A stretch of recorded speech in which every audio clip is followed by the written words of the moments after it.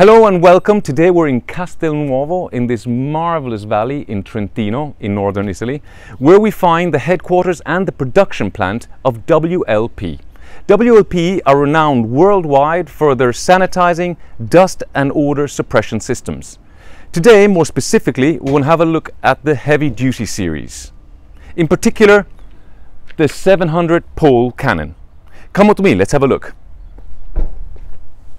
This is one of WLP's biggest cannons. It weighs about 700 kilograms, and this version in particular is the self-standing pole version, which can be transported by forklift from the four directions, while there is also the trailer version, which is available with two wheels. Here we have the body of the system. Here we have the water pump here and the switchboard. On top we have the cannon head. So the 700 pole cannon system runs on a three-phase industrial power supply of 400 volts and 50 hertz, which are also available in different voltages and frequencies depending on the country. Then here we have the industrial water connection, which is regulated by this electronic valve. So basically the water comes up from the base through this tube into this stainless steel filter, which guarantees clean water for the pump. The water comes out of the filter down this tube and directly into the water pump. So the water comes out of the pump through this tube, which in turn feeds a collector here inside the body of the system, which is then split into three tubes, which are regulated independently by electric valves. So from the water collector inside the body here, the water is supplied through these three independent tubes to the crown of the cannon. Um, this version is electric, but it's also available in the manual version.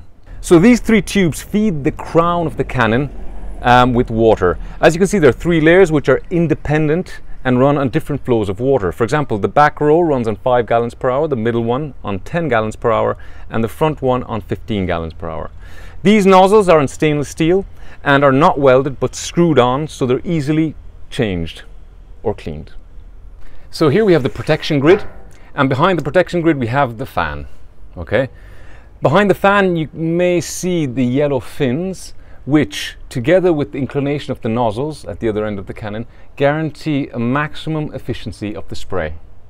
So the cannon head has a rotation range of 340 degrees while the inclination is of 65 degrees minus 20 to plus 45 in optimal conditions the maximum throw distance is in the range of 60 to 70 meters.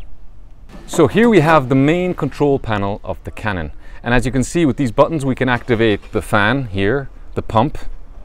We can operate the rotation and the inclination of the cannon head using these arrows.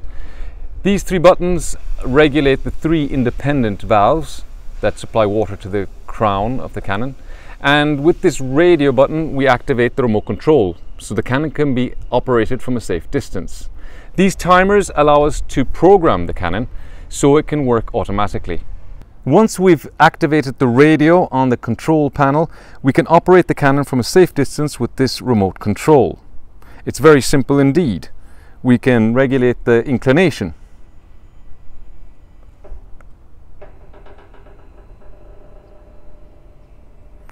The rotation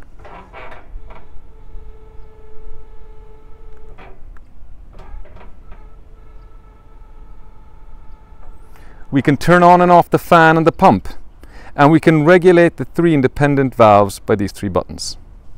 And for good maintenance of the cannon, it's advisable to change the filter every now and then and to drain water tubes after using the machine.